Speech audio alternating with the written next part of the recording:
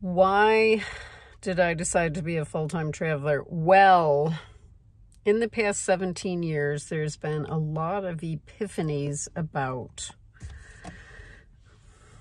not just travel, but what travel does is make you change your thinking in a way that never would have happened if I'd stayed in Silicon Valley and never left.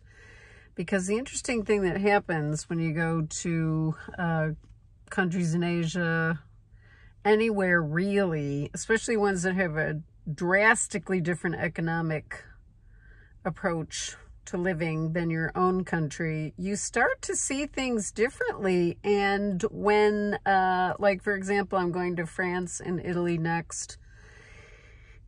And once I got wind of how the French do things, I have a lot of respect for their decisions and choices and uh, how the French live their lives. Um, so I've been in the country many times, but I've never actually lived there or spent a significant amount of time there. That's just what I see, not doing tourist activities. Um, and here's the other thing. Don't do tourist activities unless, you know, it's just like the first couple of days because you're not going to learn anything about the people. Like, I didn't know anything about Mexico until I stopped going to the resorts in Cabo San Lucas. So this is a person, me, that took a lot of luxury trips before I started traveling full-time luxury, like two and three week vacations. Um, and in Hawaii, in Bora Bora, very high-end kind of, you know, $500 a day. And this was 25 years ago. I don't do that now, so it'd be more like 2500 a day at that level of luxury. And when I discovered that you could actually travel and do it much more cheaply and still have an amazing time and interact with locals was when I started volunteering because you're working with local people and they teach you everything you need to know. You make friends with them, you go to all the good places. You don't spend that much money. You're spending money on uh, the more touristy things like taxis and overpriced accommodation and um, going out to eat. I don't go out to eat that much when I travel. It's fun to try the local food, but I like to try the local food that the locals are eating, not in the fancy restaurants so much. So I don't do that as often. And it's really fun to shop for your groceries and especially in Europe. I'm very excited to go to the markets there because um, I know what everything is. Um, in Asia, uh, not so much. I don't even know what everything is there. I don't know how to cook it, but in Europe I do, and I get new ideas, and it's really fun um, to have my own kitchen and cook and, and live a normal life at a much less expensive rate than I would here in California. So you start to see things differently, and I highly recommend it. It's not for everybody.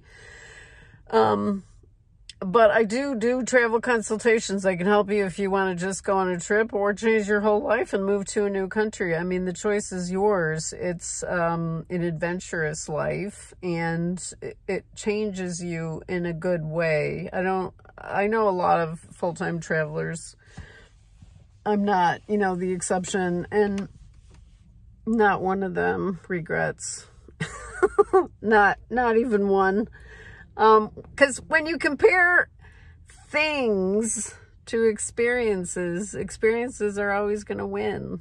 Um, so, yeah, money does give you options, but I think there's such an emphasis on it in the USA that it's to the detriment of um, experiencing life as fully as someone in Sicily will do, will live life and experience joy and family and fun and, you know, things that we don't have much time for here.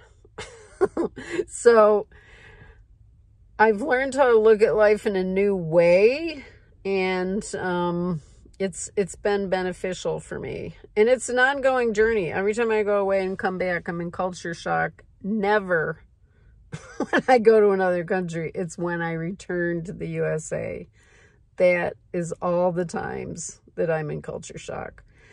So I highly recommend you travel. Um, because your mind will be changed, your life will change. I'm not going to say how, but you'll see that other people live differently and our way isn't the only way.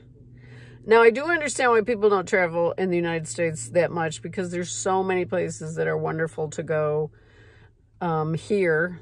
So many beautiful nature places in the western part of the country, especially, that I love. Um, but the emphasis on getting ahead and accomplishing and making money is to the detriment of a lot of other things. Um, but on the other hand, money does give you freedom.